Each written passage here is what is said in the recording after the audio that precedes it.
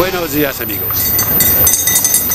Le cœur de la ville d'Antigua, ville reconnue comme étant partie du patrimoine mondial selon l'UNESCO, est le parc central. Le parc central est entouré de beaux édifices coloniaux, dont celui qui est derrière moi, qui s'appelle El Palacio de los Capitanes, qui à l'époque du royaume du Guatemala était le siège du pouvoir, le siège du gouverneur. Aujourd'hui, c'est toujours le siège du pouvoir. Et bien sûr, non seulement les touristes, mais le public en général est interdit d'entrer dans cet édifice. Le pouvoir ne se partage pas comme chacun le sait. Malgré tout, comme dit le New York Times, édifice à voir selon le New York Times. Sigané.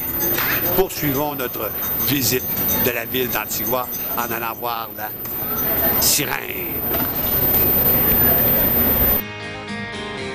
Les bourgeois bohèmes ou bien bobos pour les intimes. Dans les chansons de Vincent de l'herbe, on les retrouve.